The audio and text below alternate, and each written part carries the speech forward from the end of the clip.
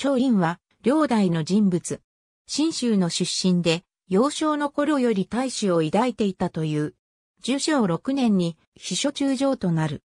天祖帝が即位すると、戸部氏に転じたが、しばらくして南夫妻省に任じられた。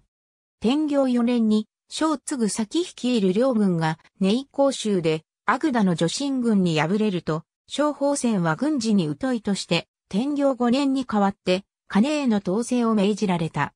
長林は、先の大敗は軽挙によるものであったとして、肝心の府民の中から将兵を募って10万の軍を編成し、それをもって金軍を防ぐ旨を上奏した。肝心を将として兵を統率させるのはそれまでの領の歴史上でかなり珍しいことであった。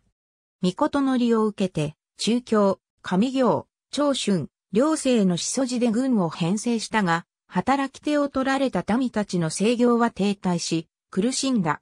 しそじの軍病は集まると逃亡し、民たちの暮らしを混乱させる結果に終わった。長林は軍をうまく統率できず、龍河で金軍に大敗を喫した。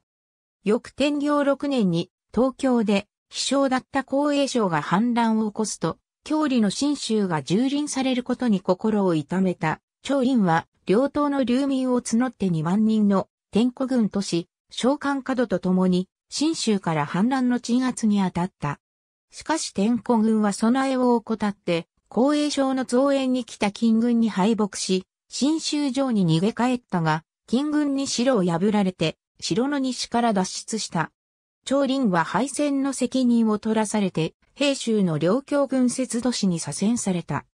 保大正2年、金軍によって中京が陥落すると、天祖帝は雲中に慌てて逃亡し、長林は、李承恩らと共に、南京の留守であった、旗神王、ヤリツ黒土里を補佐するよう命じられた。李承恩らが、ヤリツ黒土里を皇帝に擁立しようとすると、長林は難色を示したがやむなく、これに従った。北領が成立すると、大使の地位にあったが後に平将軍国大臣に任じられた。しかし表向きは敬われたが徴用されず、ほどなくして病死した。ありがとうございます。